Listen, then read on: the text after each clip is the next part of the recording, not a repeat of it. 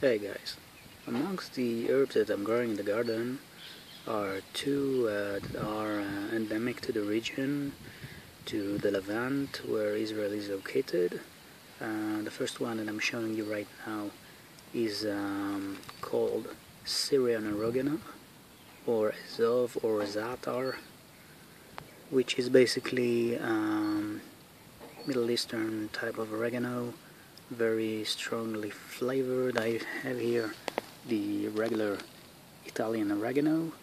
Um, this one has a much deeper flavor in comparison. Uh, usually mix it with some sesame oil, uh, sesame seeds and olive oil to make um, za'atar. It's a local uh, Arab dish, usually eat with pita bread.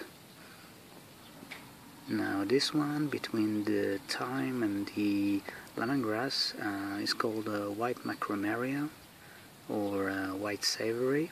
Um, endemic to specifically Israel. Um, this herb is extremely savory uh, when you're making tea.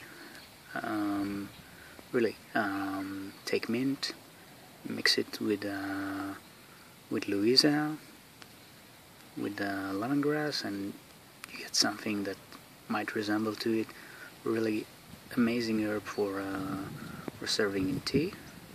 Anyway um, other herbs that I have here you might know thyme, lemongrass, uh, dill, parsley, cilantro nothing too out of the ordinary for the moment.